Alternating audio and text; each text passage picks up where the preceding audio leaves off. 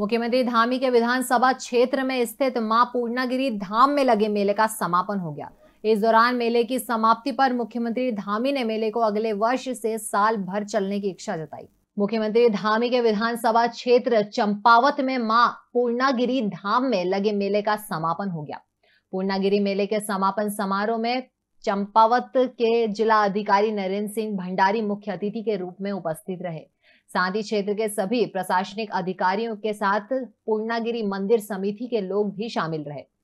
इस अवसर पर जिला अधिकारी नरेंद्र सिंह भंडारी ने जानकारी देते हुए कहा कि इस वर्ष पूर्णागिरी 2023 मेले का समापन हो गया है, जिसमें लगभग 35 लाख से ज़्यादा भक्तों ने माँ पूर्णागिरी के दर्शन किए। इस दौरान मेला समिति एवं स्थानीय प्रशासन ने बताया कि मुख्यमंत्री पुष्कर सिंह धामी की इच्छा है कि ये मेला पूरे वर्ष सुचारू रूप से चले, जिसको पूरा करने के लिए माँ पूर्णागिरी धाम में मुख्यमंत्री की तरफ़ से कई योजनाओं पर कार्य चल रहा है।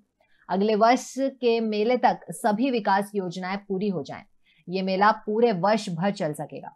जो मेला हुआ है, उसमें काफ़ी अधिक संख्या में श्रद्धालु आए हैं। और माननीय मुख्यमंत्री जी ने इसमें चार घोषणाएँ की हैं। इसको एक तरह से पर्यटन, जो स्पिरिचुअल टूरिज़्म हब बनाया जाए पार्किंग बनाई जाएँगी, यहाँ पे नेटवर्क कनेक्टिविटी अच्छी की जाएगी, और जो बिजली है वो परमानेंट की जाएगी, और मेले को पूरे साल चलाया जाएगा अगले साल से, जब ये घोषणा पूर्ण होगी, उस साल से।